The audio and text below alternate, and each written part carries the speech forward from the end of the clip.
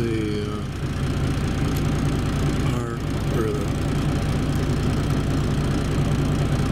country club. There's tennis courts over there or something. Racquetball or something they're doing. This is the main building apparently, and they're gonna. There's where they're doing the pool over there. Truck's getting loaded over there, my buddy. Um, I gotta go over there next. I didn't load over here before, um, so I'm not sure exactly how I'm gonna turn around get in there. I'm gonna have to ask the guy, I guess, if I can. I may have to back in from the main road all the way around here over to where the guy is.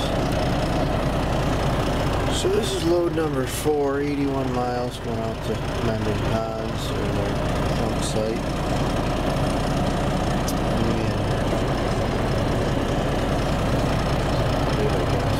Cool day. I got another trucker behind me. I gotta figure out maybe he knows how to get in here.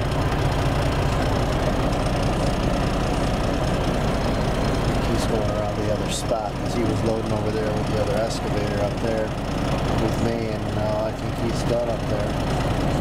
Doesn't look like a whole lot. Well, there's a big pile actually right there. I'm not sure if all that is to go. I bet it does. Right now they're just cleaning up around the pool on both sides of it. I bet they got to pull all that material out of there. There's a lot of big rocks in there. They,